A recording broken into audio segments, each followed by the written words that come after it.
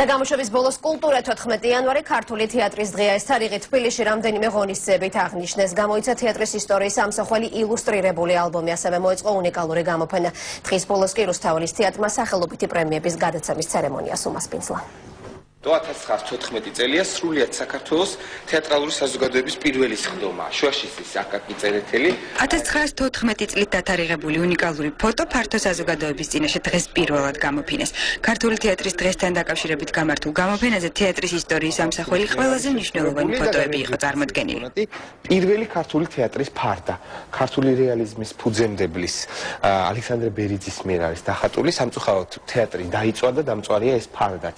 ამიტომ ხოლმე ხოდ ესკიზის სახით შემოგჭა და ყველაზე უცნაური ექსპონატი ალბათ როგორ გამოიყურებოდა აი ეს დარბაზი 1850 წელს. დარბაზი სადაც 1850 წლის 14 იანვარს გიორგი ერისთავმა პირველი ქართული სპექტაკლი გაყრა დადგა, დღეს ვიზუალურად შეცვლილია, თუმცა ტრადიციას არ ღალატობს და მნიშვნელოვანი ღონისძიებებისთვის მისი კარი ყოველთვის ღიაა. ძალიან სიმბოლურია, როცა ჩვენ აი ამ დარბაზში ვართ, ამ დარბაზში დაიბადა ქართული თეატრი და თუ შეიძლება ითქვას, ამ დარბაზში დაიწყო დიდი ეროვნულ-გამანთავისუფლებელი მოძრაობა, რომელმაც შედეგად საქართველოს დამოუკიდებლობა მოიტანა.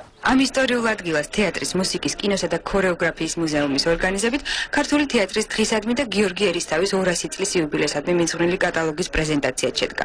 კატალოგი თეატრის ილუსტრირებულ ისტორიას ასახავს. ეს არის აუცილებელი, რომ მსგავსი სახელები და მსგავსი სახეები მივიწყებას არ მიეცეს და მომამთავდა თუ არა ციგნის ციგნის საშუალებით თუ არა რითი უნდა გაიგოს მათი არსებობა. ქართული თეატრის დღეს აღამოს რუსთაველის თეატრშიც აღნიშნეს თეატრალურმა საზოგადოებამ კი სპეციალურად გაზეთით გამოსცა. ყველაფერი რის ირგვლივაც თეატრალური საზოგადოება 2012 წელს აგზელებდა მუშაობას ამის შესახებ კიდე ყველაფერი იბეჭდება ამ გაზეთში. ასევე არის საქმე ჟურნალი თეატრი და ცხოვრება. ხონიცება თენგიზ არჩვაძისა და ნოდარ გრიგალაშვილის 80 წლის იუბილესაც მიეძღვნა. ქართული თეატრის მოღვაწეებს კი სახელობითი პრემიები გადასცეს. ღმერთმა დაგლოცოთ. მინდა სულ ყველა ჩემი სიხარული გაგინაწილოთ. სულ ყველა ბედნიერები იყოთ.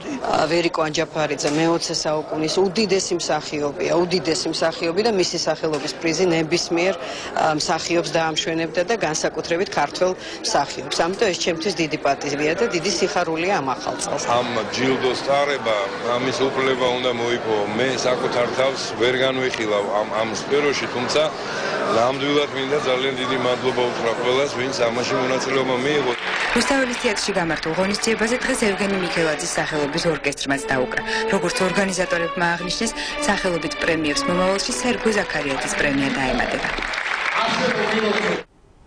ახლა კი ეკაპერიტის მთავარი კითხვის ანონსი ვინ იქნებიან დღეს გადაცემის სტუმრები? ამას ეკა თავად გვეტყვის ეკა საღამომშვიდობის. საღამომშვიდობის თამთა მივესალმები მაყურებელს. დასრულდა თუ არა პოლიტპატიმრებთან დაკავშირებული პროცესი მათ მიერ საპრობილების დატოვებით. მთავარ კითხვას დღეს სოზარ სუბარი უპასუხებს გადაცემის მეორე ნაწილში უკვე ყოფილი პოლიტპატიმარი მერაბრატიშვილი საკუთარი ისტორიის შესახებ.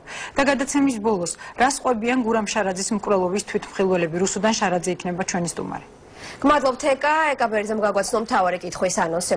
ასეთი იყო დღის მთავარი თემები საღამოს 9 საათისთვის. მეცხრე ხის საინფორმაციო სამსახური მუშაობას ღამის 12 საათზე განახლებს. მე კი ხვალ უნდა გემშვიდობებით